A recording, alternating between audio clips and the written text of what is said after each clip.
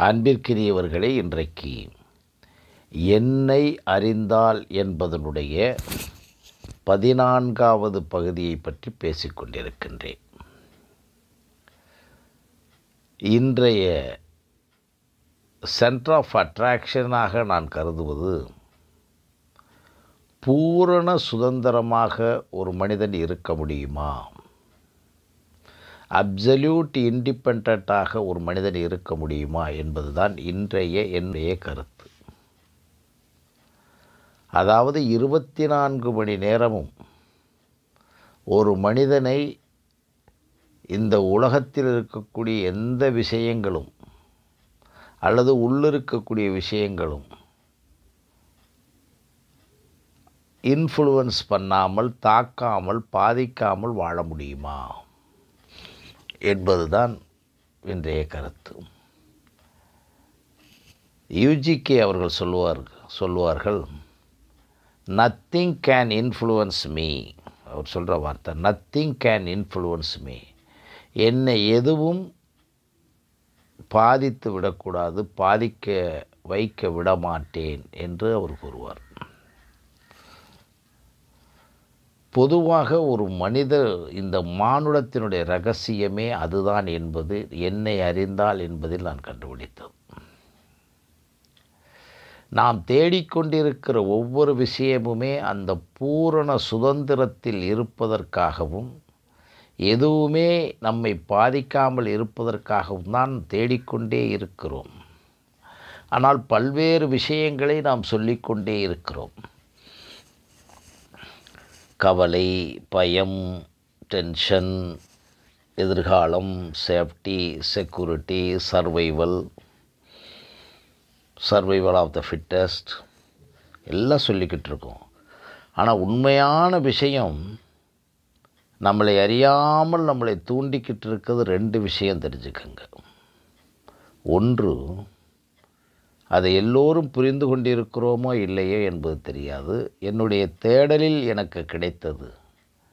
நான் ஒரு பூரணமான ஒரு அப்சல்யூட் இண்டிபெண்ட் மனிதனாக எப்பொழுதும் இருக்க வேண்டும் இருக்க வேண்டும் என்பது தேடிக்கொண்டே இருக்கிறேன். அதே நேரத்தில் இப்படி தேடிக்கொண்டிருக்குமே இதுக்கெல்லாம் மூல காரணம் யார் என்றால் அது ஏதோ ஒன்று என்று தேடிக்கொண்டிருக்கிறோம். அந்த ஒன்றைத்தான் நாம் பெயரை வைத்து கொண்டிருக்கிறோம் கடவுள் என்றும் பெயர்கள் பல பெயர்கள் வைத்திருக்கிறோம். பட் இரண்டு விஷயம் நாம் தேடிக்கொண்டிருக்கிறோம் அல்லது தேட வைக்கப்பட்டிருக்கிறோம் அல்லது அதுதான் நம்மளுடைய உண்மையான நிலை. நான் யார் என்ற உண்மையான நிலை அதுதான் என்பது என்னுடைய கருத்து. இதை எளிமையாக புரிந்து கொள்ள வேண்டுமென்றால் நீங்கள் கருவறையில் இரும்பு இருந்தபோது உண்மையான இண்டிபெண்ட்டாக இருந்தேன். இண்டிபெண்ட் பர்சனாலிட்டியாக தான் இருந்தேன். யாராவது உங்களுக்கு நீங்கள் சாப்பிட வேண்டுமே எங்காவது சென்றீர்களா? பசி வந்ததே உங்களுக்கு யாராவது எங்கேயாவது சென்றீர்களா? முயற்சி செய்தீர்களா? உழைத்தீர்களா? காற்று நுரையீரலுக்கு காற்று தேவைப்பட்டது சுவாச மண்டலங்கள் இயங்கியதே அதற்கு எங்கேயாவது சென்றீர்களா? உங்களுடைய ஒட்டுமொத்த உள் உறுப்புகள் உடல் உறுப்புகள் எல்லாம் வளர்ந்ததே புள்ளியிலிருந்து அதற்கு ஏதாவது நீங்கள் செய்தீர்களா? நீங்கள் சும்மா இருந்தீர்கள் நடந்தது.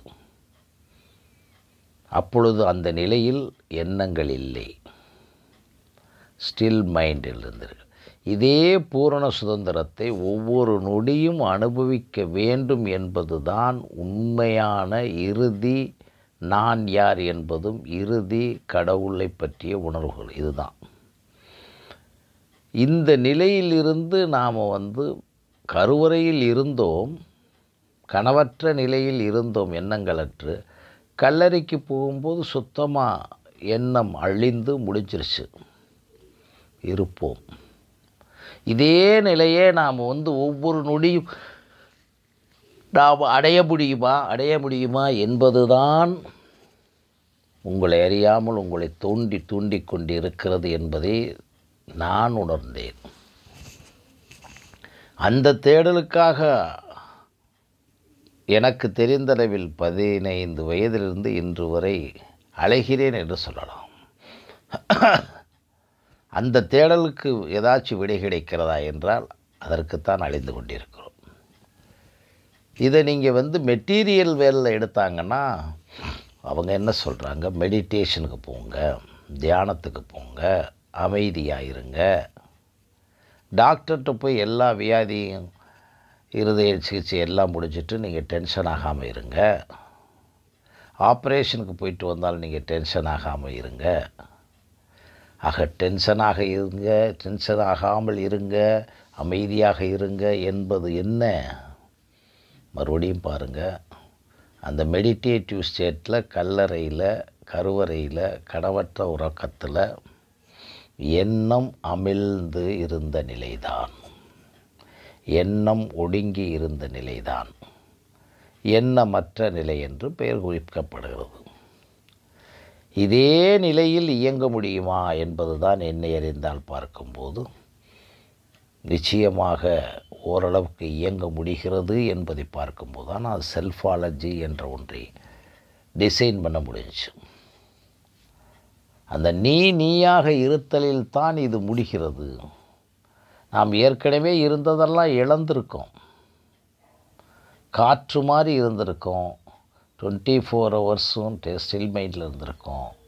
மெடிடேட்டிவ் ஸ்டேட்லேயே இருந்திருக்கும். மரணத்தை பற்றி எந்த பயமும் கிடையாது. பசி வலி பயம் பாசம் காமம் எதுவுமே இல்லாமல் இருந்திருக்கோமே. இந்த நிலைக்குள் நாம் தொடர்ந்து இருக்கக்கூடிய ஒன்றுதான் என்னை பொறுத்தளவில் பூர்ண சுந்தரம் அதை அடைய முடியுமா அடைய முடியுமா என்றால் இந்த உலகில் அடைய முடியாது என்று அழைகிறோம் ஆனால் அடைய முடியும். அதனுடைய முதல் நிலைதான் நாம் நாமாக இருத்தல். ஏனென்றால் ஒவ்வொரு மனிதனும் லட்சம் தடவை சொல்லியாச்சு தனித்தனியானவன். ஒவ்வொரு மனிதனும் ஒவ்வொரு நிமிடமும் அவன் உள்வாங்குதலுக்கு தக்கபடியும் அவனுடைய சூழலுக்கு தகுதி மாறிக்கொண்டும் மாற்றப்பட்டு கொண்டே இருக்கிறான் இந்த கிளாசிஃபிகேஷனும் இந்த ஐடென்டிஃபிகேஷனும் உங்களுக்கு தெரியணும். இந்த உலகத்தில் இருக்க எல்லா மனிதனை காட்டிலும் நாம் தனியானவன். யாரும் யாரோடு ஒப்பு ஒப்புவை கூடாது கூடவே கூடாது என்ற உணர்வும் அந்த கிளாசிஃபிகேஷனை ஐடென்டிஃபை இனம் காணுதலும் தான் நீங்கள் உலகத்தில் அந்த பூரண சுதந்திரத்திற்கு பூரணமான அமைதிக்கு பூரணமான ஆரோக்கியத்திற்கு பூரணமான ஆனந்திற்கு உங்களை இட்டுச் செல்லும் என்பது என்னுடைய கருத்து. அதற்கு நாம் நீ நீயாக இருக்கும்போது எத்தனையோ பிரச்சனைகள் வரத்தான் செய்யும். இந்த உலகில் அறிவு இருக்கும் வரை நுண்ணறிவு இருக்கும் வரை பகுத்தறிவு இருக்கும் வரை மரபணு திறன்கள் இருக்கும் வரை எண்ணங்கள் எழுந்து கொண்டே எண்ணங்கள் எழுந்து கொண்டே இருந்து கொண்டே தான் இருக்கும். அவைகளிலிருந்து விடுபட வேண்டாம். அவைகளில் இருப்பவைகளில் நமக்கு நேர்மறையாக நம்மளுக்கு மனதிற்கும் மனச்சாட்சிக்கும் எதையெல்லாம் அமைதி கொடுக்கிறதோ அதை மட்டுமே செய்து செய்து செய்து பழகினால் ஒரு குறிப்பிட்ட தூரத்திற்கு நமக்கு கொடுக்கப்பட்ட மூளை தன்னுடைய வேலையில் இதை மிகப்பெரிய வேலையாக எடுத்துக்கொண்டு நம்மை அதை தவிர செய்ய விடாது. பொய்யே சொல்லாமல் இருக்கும் ஒரு மனிதனை ஒரு குறிப்பிட்ட ஆண்டுகளுக்கு பிறகு பொய் சொல்லவே வைக்க முடியாது. பொய்யே சொல்லி பழகிக்கிட்டு இருக்க ஒருத்தனை நீங்கள் உண்மையை சொல்ல வைக்கவே முடியாது. அதுதான் இன்றைய உலகத்தில் நடக்கக்கூடிய எல்லா விதமான தொழிலாக இருக்கட்டும் அரசியலாக இருக்கட்டும் மற்றது எந்த துறைகளாக இருக்கு எல்லாம் கெட்டு போனதுக்கு காரணம் இதுதான். இதை எப்படி சீரமைக்கணும் எப்படி சீரமைக்க போகிறோம்ன்றதெல்லாம் அது ரெண்டாவது இருக்குது ஆனால் சீரமைக்கிறதுக்கு வழி இருக்குது அதுதான் அந்த ரெண்டு வயதிலிருந்து பதினைந்து பதினேழு வயதிற்குள் பள்ளி பருவத்திலே சீரமைக்க வேண்டும் என்பது முடியும் என்பது என்னுடைய கருத்து. ரொம்ப முக்கியமாக புரிஞ்சுக்கிறோம். ஆக நான் வந்து ஃபஸ்ட்டு பூரண சுதந்திரமாக இந்த உலகத்தில் இருக்கும் வரை வாழ முடியும் என்ற கருத்தை கூறுகிறேன். அதற்கு பிறகு அந்த கருத்திற்குரிய சொல்யூஷன் கொள்ளு சொல்லுகிறேன். அந்த நீ நீயாக இருத்தலில் நடக்கக்கூடிய நிகழ்ச்சி அந்த நீ நீயாக இருக்கும்போது ஆசை வரும் பேராசை வரும் பொறாமை வரும் பொய்மை வரும் மாயை வரும் ஆணவம் வரும் எல்லாம் இதை இதெல்லாம் இனம் காணுதல். நிறையா நிறையா எபிசோடில் பேசியிருக்கேன். இந்த இரண்டுக்கும் இடைப்பட்ட முறையில் ஒரு குறிப்பிட்ட தூரத்துக்கு பிறகு நீங்கள் செய்ய முடியாதுன்றதில்லை நீங்கள் செய்வதில்லை தொடர்ந்து. ஏன்னா அதற்கும் மூளை கொடுக்கப்பட்டு இருக்கிறது என்பதை புரிஞ்சுக்கோங்க. இத்தனை மணிக்கு தான் சாப்பிட்டு பழகணும்னா அத்தனை மணிக்கு தான் பசிக்கும். நினச்சி பாருங்கள் இத்தனை மணிக்கு தான் தூங்க போகிறோம்னா அத்தனை மணிக்கு தான் நமக்கு தூக்கம் வரும். இத்தனை மணிக்குள்ளே தான் படிக்கணும்னா அத்தனை மணிக்குள்ளே படிப்பு வரும்.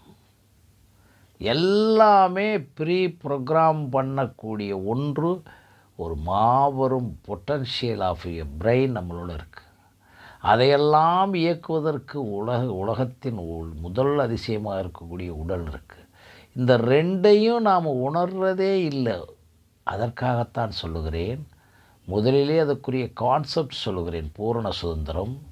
அதற்கு நீ நீயாக இருத்தல் என்பது ஒரு கமாண்ட்மெண்ட் ஒரு காம்போனண்ட் அதுபோல் அது மாதிரி பத்து பதினஞ்சு மீடியாஸ் இருக்குது நீ நீயாக இருந்தால் அடுத்தவர்களை அடுத்தவர்களாக இருக்க விட்டால் எண்ணத்தை எண்ணத்தால் எரித்தால் எண்ணத்தை செயலால் எரித்தால் உடலே தியானமானால் உணவே தியானமானால் எல்லாமே சொல்லக்கூடிய கான்செப்ட்லாம் விளக்கலாம். ஆனால் முதல்ல நீ நீயாக இருக்கும்போது ஏற்படக்கூடிய அந்த நிகழ்வுகளிலிருந்து நம்ம மாட்டிக்கிறக்கூடாது. அந்த நிகழ்வுகளோடு மாட்டிக்கிறக்கூடாது. அந்த நீ நீயாக இருக்கிறது என்பது மனிதனால் மட்டும்தான் முடியும் என்பதை புரிந்து கொள்ளணும். மற்ற மிருகங்கள் பறவைகள்லாம் அது அதாகவே தான் இருக்கும். ஏனென்றால் அவைகளுக்கு எண்ணங்களுடைய மன எழுச்சியோ எண்ணங்களுடைய எழுச்சியோ அறிவுனுடைய எழுச்சியோ நுண்ணறிவுடைய எழுச்சியோலாம் கிடையாது. அதுக்கு ஒரு குறிப்பிட்ட இன்ஸ்டிக்ட் இதை நான் பல தடவை சொல்லியிருக்கிறேன். ஆகவே அந்த நீ நீயாக இருத்தலை டுவெண்ட்டி ஃபோர் ஹவர்ஸும் இருப்பதற்கு ஏதாவது பயிற்சியா? அதுவும் பயிற்சி இல்லை. அதுக்கு யாராச்சும் குரு வேணுமோ? அதுக்கும் குரு தேவையில்லை. அப்போ அதை என்ன செய்யணும்? நான் ஆசைப்படுறது தெரியுதில்லை எனக்கு. நான் பேராசைப்படுறது தெரிதல் தெரியுதில்லை எனக்கு. நான் கம்பேர் பண்ணுறது எனக்கு தெரிகிறதா இல்லையா? இதிலிருந்து வெளியே வர முடியாதா? அது வெளியே வர்றது யாராச்சும் முடியுமான்னு பாருங்கள் உங்கள் பசியை நீங்கள் தீர்க்க முடியும் உங்கள் சிறுநீரை நீங்கள் கழிக்க முடியும் என்பது உங்களுக்கு ஏற்படக்கூடிய இந்த உணர்வுகளை. அதான் சொல்கிறேன் பயிற்சியற்ற பயிற்சி எஃபர்ட்லெஸ் எஃபர்ட் என்று புத்தர் சொன்னது. அப்போ ஒவ்வொன்றா எடுக்க எடுக்க களைய களைய புரிஞ்சுக்கங்க. ஒரு குறிப்பிட்ட தூரத்துக்கு பிறகு நீங்கள் ஆட்டோமேட்டிக்காக உள்ளே அது சொல்லப்படும். அங்கே பிரெயின் மேனேஜ்மெண்ட்டை நான் தொடங்குறேன். அதை பற்றி நிறையா விளக்கலாம். பிரெயின் ரகசியங்கள் உலகத்தினுடைய அத்தனை ரகசியங்களை ஆண்டனா மாதிரி கொண்டு வரக்கூடிய ரகசியங்கள் இருக்கிறது என்பதை உணர்ந்தேன். அது இன்றைக்கு வந்து நியூரோ சயின்ஸ்லேயும் எபிஜெனட்டிக்ஸ்லேயும் பகரப்படுகிறது. எப்படி உள்ளே கொண்டு வர முடியும்? அதுக்கு உதாரணங்களைத்தான் அடிக்கடி நான் சொல்லுவது. திருக்குறள் திருக்குறள் திருக்குறள். முதல்ல தமிழன் புரிஞ்சுக்கங்க. பள்ளிகளில் திருக்குறளை படிக்க வைப்பதல்ல திருக்குறளை உணர வைப்பது திருக்குறளாக வாழ வைப்பது. அறத்துப்பால் பொருள்பாலை எடுத்து வாழ வச்சிட்டிங்கன்னா இப்போ நான் சொல்லக்கூடிய எல்லா விஷயமும் கேட்சாகும் அந்த பூரண சுதந்திரனாக உருவாயாச்சுன்னா இந்த பூமி பிரபஞ்சம் அல்ல இந்த பிரபஞ்சத்துக்கும் அடுத்து என்ன நடக்க போகுது? இந்த பிரபஞ்சத்தில் இன்னும் பத்தாயிரம் வருஷத்துக்கு பின்னாலே என்ன நடக்க போகுது? ஐயாயிரம் வருஷத்துக்கு பின்னால் நடக்க போகுது. அடுத்த நூறாண்டுகள் எல்லாவற்றையும் மனிதன் கண்டுபிடித்து அதற்கு பிறகு உருவாகக்கூடிய ஜெனரேஷன் தலைமுறைகளுக்கு என்ன வேணும்னு கண்டுபிடிச்சி கொடுத்துருவான். இப்போ இணையதளம் கண்டுபிடிக்கப்பட்டிருக்கு இல்லையா? இப்போ இணையதளம் எப்படி ஆயிடுச்சு பாருங்கள் கைக்குள்ளேயே வச்சுக்கிட்டோம் இல்லையா? இன்றைக்கி அமெரிக்காவில் ஒரு செகண்டில் பேசிடுறோமே. அப்போ மனிதன் கண்டுபிடித்து இப்படி இன்னிமே இந்த பூமி அழியிறது வரைக்கும் ஒரு மனிதன் பூரண சுதந்திரமாக ஆக்கப்பட்டால் அவர்களே கண்டுபிடிச்சிருவாங்க. உலகமே அமைதி ஆரோக்கியம் ஆனந்தமாக நிகழும். அப்படியே காற்று மாதிரி உலகமே நிகழும் என்பது என்னுடைய இன்றைய கருத்து. மறுபடியும் சந்திக்கின்றேன். நன்றி வணக்கம்.